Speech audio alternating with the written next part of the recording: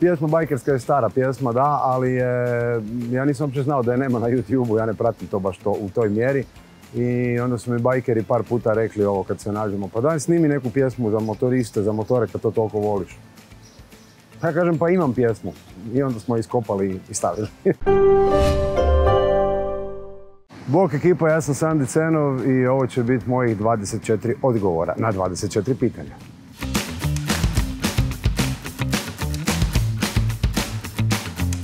Glazba me od uvijek inspirirala jako i to je bio taj novi val u Hrvatskoj kad sam otišao, mislim da sam otišao na koncert Bijelog dugmeta sa Tifom i kad sam se vratio doma rekao sam mama, ja hoću to. ne bih rekao da sam pjesmu zamijenio trkama, ja sve vrijeme naravno imam koncerte, a kad stignem kao hobi, kad stignem, uh, kad nemam svirku za vikend, kad mi je slobodan vikend, onda obavezno odem na neke trke ili kao gledatelj ili kao sudionik, što me jako veseli. Ljubav prema motorima je meni u venama još iz doba mojih opatijskih proslava rođendana koji su bili 17.6. dakle ovih dana.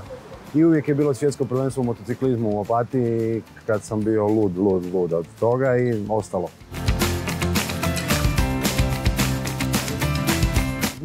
Saša Tkalčević je moj stari friend još iz vremena motora i stalno smo se negdje sretali pa smo, eto tako, odlučili snimiti pjesmu.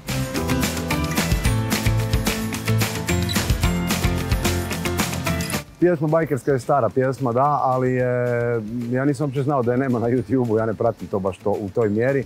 I onda su mi bajkeri par puta rekli ovo kad se nađemo, pa daj snimi neku pjesmu za motoriste, za motore kad to toliko voliš.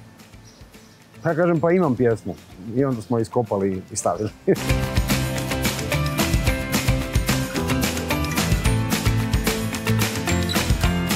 Teško je odgovoriti na to pitanje i ja bi to htio znati.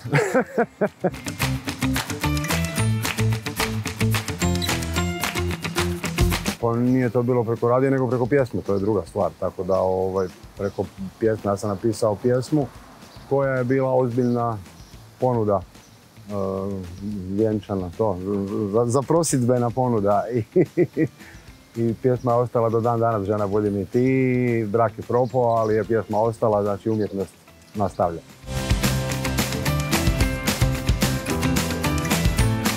Pa meni je tata opatijac, da to razjasnim, a mama Zagrebčanka, prema tome ja sam nešto to pola-pola, mada sam cijeli život živio s mamom, prema tome smatram se više Zagrebčanka.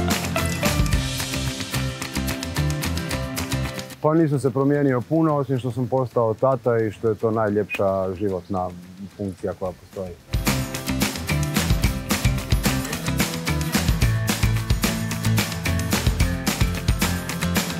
Pa ja sebi to čini mi se nekako sam napravio jednu nešto između da, da mogu otići normalno u dućan, da mogu normalno otići dečkima na cugu, a da ovaj, me ljudi ne povlače za rukav, a da ipak ljudi znaju ko sam i da se djeca ne srame mojih pjesama, da su to dobre pjesme. Glazba se promijenila jako od 90-ih do danas. Jako, jako i to na lošije, nažalost, zato što nekako smo se zatvorili u nekakve uske okvire i mislim da smo se podijelili na dvije opcije, lijeva i desna kao i u politici, kao i u svemu, tako i mislim da je na glazbu ili je preurbana ili je preruralna, nema sredine. Nadraža suradnja u karijeri, pa možda čak evo duet sa Tifom koji je moj veliki idol iz tog doba, kažem, zbog toga sam se počeo baviti glazbom, zbog bijelog dugmeta i tog albuma sa Tifom onda sam s njim, eto, nakon ohoho godina snimio duet. Pa to da smo ga tražili po Sarajevu cijeli dan kad je dogovoreno snimanje, ali to je normalna stvar, na to sam bio spreman. E to je jako sad teško jer sam ponosan na puno mojih pjesama. Ma, puno, puno, puno. Pa imam kad sam pao preko kabla sa IT-evcima, sam nastupao u Osijeku u dvorani Zrinjevac i taman istrčavam na binu, onako kao yes, ono, ne znam koliko tisuća ljudi digne ruke, a ja se zapnem o kablu, nekakav pljak dole.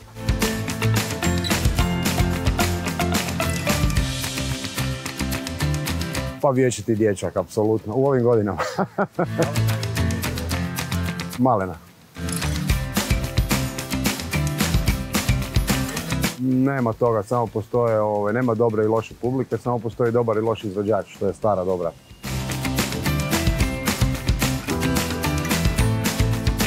Imao sam ih jako puno i bio sam zapravo fasciniran, najviše zapravo grupom film.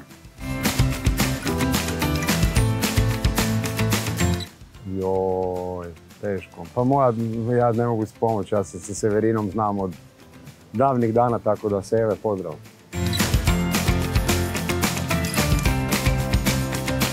A došlo je tako da sam htio probati vidjeti kako je to glumit. E, svi mi imamo nekakvih tajnih želja. Moja tajna želja je bila da probam glumiti i eto, meni je drago da sam probao i sad sam mirniji.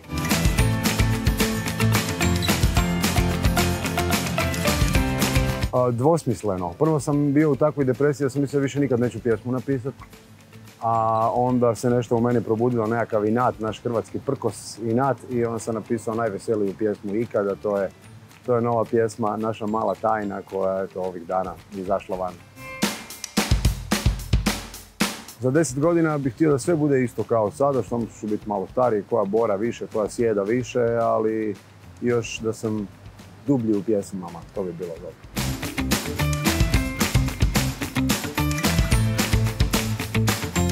Au, to je jako, jako teško to ne mogu uopće reći. Evo, ne, neki dan sam pričao da kad se Toše Proeski pojavio, ja sam imao samo duboki naklon i rekao ovo je, ovo je čovjek koji, je, koji će pomest sve. I eto, to se desilo što se desilo, jako smo tužni, ali nekako on mi je bio top, top. Ne, ne znam kog bi danas izvojio. Dragi moji, puno vas pozdravljam, gledajte nas, čitajte nas u 24 sata i vidimo se s vam drugom prilikom opet.